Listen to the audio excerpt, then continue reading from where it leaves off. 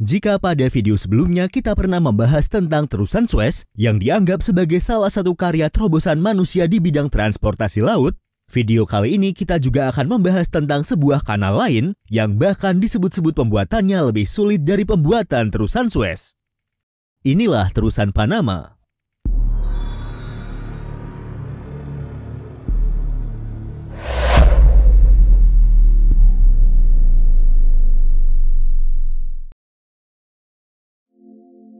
Terusan Panama atau Kanal Panama adalah sebuah jalur air buatan sepanjang 82 km yang memotong Isthmus of Panama atau Tanah Genting Panama dan memisahkan daratan Amerika Utara dan Amerika Selatan. Yang selanjutnya kanal ini menghubungkan dua samudera, yaitu Samudra Atlantik di utara dengan Samudra Pasifik di selatan. Secara geografis, terusan Panama melintasi negara Panama yang terletak di Amerika Tengah Negara ini terletak di antara Costa Rica di sebelah barat dan Kolombia di sebelah timur. Kanal ini melintasi wilayah yang sempit di negara Panama yang dikenal sebagai Isthmus Panama atau Tanah Genting Panama, yaitu sebidang bagian sempit daratan yang menghubungkan wilayah Amerika Utara dan Amerika Selatan. Titik pusat Kanal Panama terletak di kota Panama, ibu kota negara Panama. Dari sana, kanal ini membentang sepanjang jalur yang melintasi wilayah negara tersebut. Berbeda dengan terusan Suez yang merupakan kanal tanpa kunci, terusan Panama adalah kanal tipe kunci atau locks type kanal. Sistem locks pada terusan Panama dikenal juga sebagai sistem tangga air. Sistem ini bertujuan untuk mengatasi perbedaan ketinggian permukaan air antara Danau Gatun yang berada di tengah kanal dengan segmen Atlantik di utara dan segmen Pasifik di selatan. Perbedaan ketinggian ini harus diatasi agar kapal dapat melintasi kanal dengan aman dan efisien. Untuk mengatasi perbedaan ketinggian tersebut, terusan Panama memiliki tiga kelompok locks utama, yaitu Miraflores Locks di bagian selatan, Pedro Miguel Locks di tengah, dan Gatun Locks di bagian utara. Setiap kelompok locks ini terdiri dari serangkaian pintu dan ruang air yang dapat diisi atau dikosongkan. Pintu-pintu ini berfungsi untuk membatasi ruang air dalam locks dan mengendalikan aliran air saat kapal melalui sistem.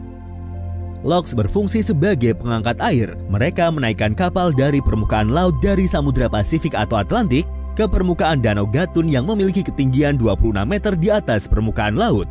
Dengan demikian, kapal dapat berlayar melalui terusan kanal di barisan pegunungan sentral Cordillera Panama dan melanjutkan perjalanan mereka menuju Samudra Atlantik ataupun Pasifik. Jika kamu penggemar dari serial anime One Piece, Cara kerja dari sistem locks ini juga secara sekilas pernah digambarkan dalam anime tersebut pada Archwater 7.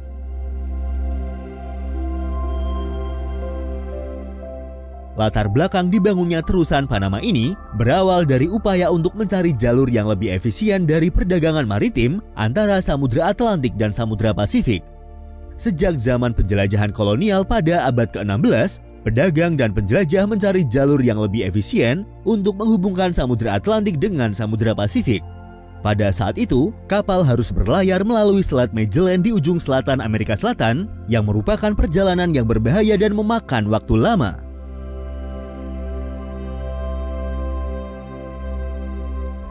Membahas tentang sejarah dibangunnya terusan Panama, kita akan dibawa mundur selama 510 tahun ke belakang di mana ide awal untuk membangun saluran air di tempat tersebut muncul.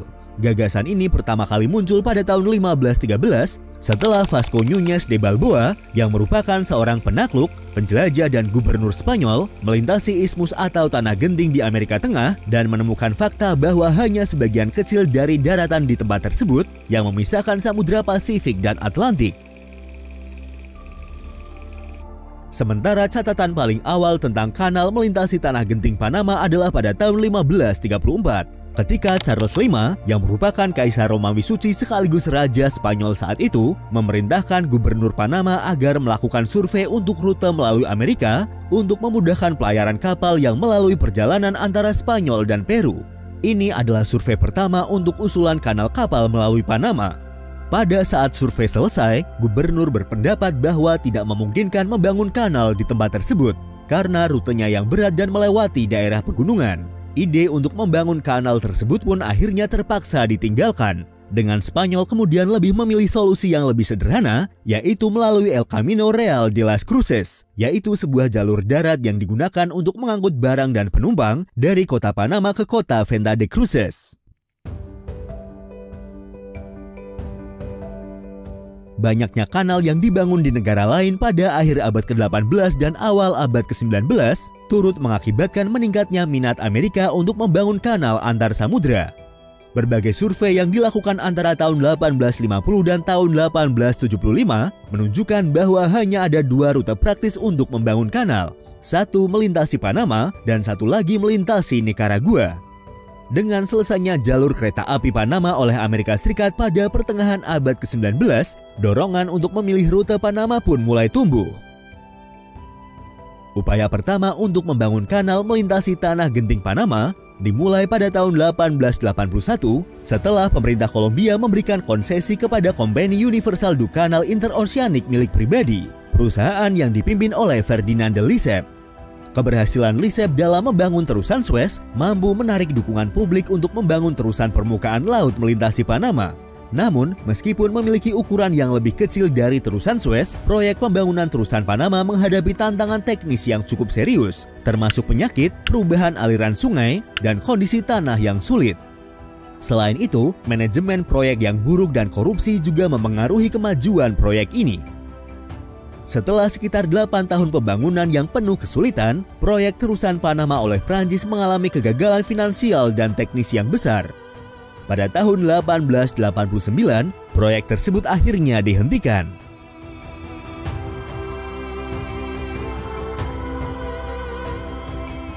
Setelah kegagalan Prancis, minat Amerika Serikat terhadap terusan Panama mulai tumbuh.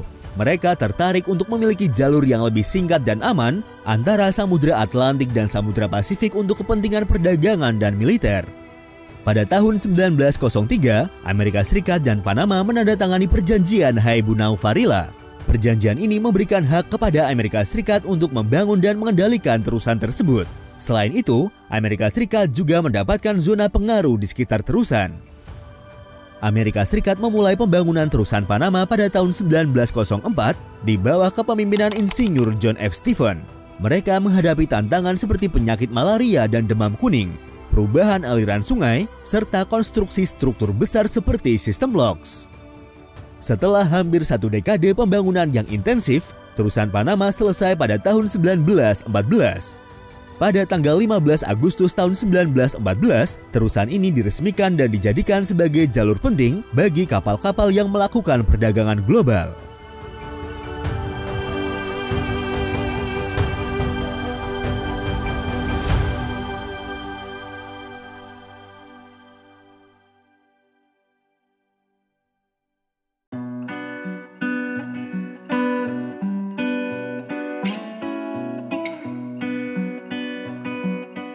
Itulah garis besar tentang terusan Panama dengan sejarah pembangunannya. Dan seperti biasa, untuk melengkapi video kita kali ini, berikut adalah beberapa fakta menarik tentang terusan Panama.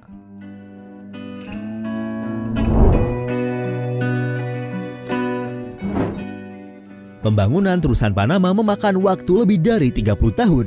Proyek ini dimulai oleh Prancis pada tahun 1880 dan selesai oleh Amerika Serikat pada tahun 1914. Terusan Panama adalah salah satu proyek teknik terbesar dalam sejarah manusia. Proyek ini melibatkan ribuan pekerja, menghadapi tantangan teknis yang besar, dan memakan biaya yang sangat tinggi. Terusan Panama adalah proyek konstruksi paling mahal dari negara Amerika Serikat pada saat itu pemerintah Amerika Serikat menghabiskan uangnya dengan membayar 40 juta dolar Amerika untuk memperoleh hak membangun kanal dari Prancis yang sebelumnya telah menggali sekitar 22.936.600 meter kubik. Selain 40 juta dolar Amerika Serikat, Amerika membayar 10 juta dolar Amerika kepada pemerintah Panama untuk menggunakan tanah mereka dan 325 juta dolar Amerika untuk membangun kanal itu sendiri termasuk membayar pekerja, mengangkut material, membangun danau buatan, memasang lima pasang eksklusas atau kunci di kanal, dan menggali lebih dari 204.901.000 meter kubik. Selain itu, mereka menghabiskan sekitar 12 juta dolar Amerika untuk membentengi kanal. Terusan Panama melibatkan penggunaan teknologi modern pada saat itu. Selama pembangunan, mesin uap, alat berat, dan peralatan konstruksi modern digunakan secara luas. Diduga sekitar 25.000 pekerja meninggal selama proses pembangunan proyek Kanal Panama. Disebutkan sekitar 22.000 orang pekerja tewas selama proyek dikerjakan oleh otoritas Prancis dan sekitar 5.600 orang pekerja tewas pada saat proyek ini ditangani oleh Amerika Serikat. Beberapa faktor penyebab banyaknya kasus kematian selama pembangunan proyek tersebut antara lain cuaca ekstrim di wilayah Panama, penyakit seperti malaria dan demam kuning, serta kecelakaan kerja. Terusan Panama adalah jalur air dengan sistem locks terbesar di dunia. Terdapat tiga kelompok locks utama di terusan ini, yaitu Gatun Locks, Pedro Miguel Locks, dan Mira Flores Locks. Terusan Panama mengalami perombakan besar-besaran antara tahun 2007 hingga 2016. Proyek ekspansi ini meningkatkan kapasitas terusan dan memungkinkan kapal kontainer yang lebih besar yang dikenal sebagai kapal Neo Panamax untuk melintasi terusan.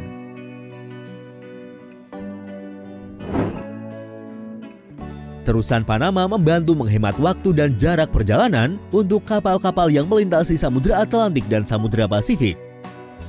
Sebelum adanya terusan, kapal harus berlayar sejauh sekitar 21.000 km melalui Selat Magellan di ujung selatan Amerika Selatan.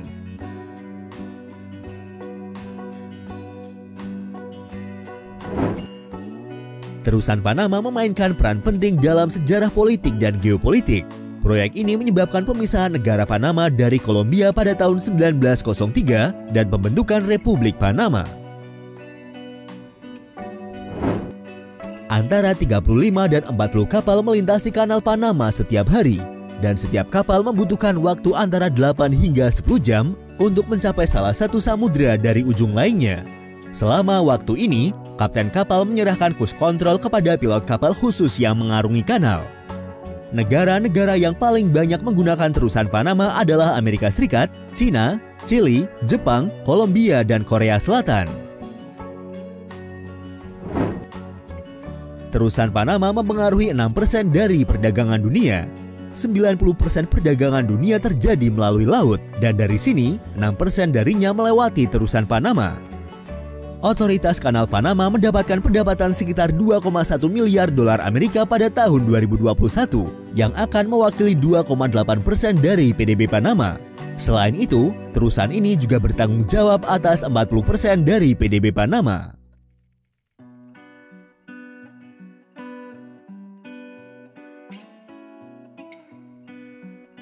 Itulah sedikit informasi, rangkuman sejarah, dan beberapa fakta menarik tentang terusan Panama. Terima kasih sudah menonton dan tunggu video dari kami selanjutnya.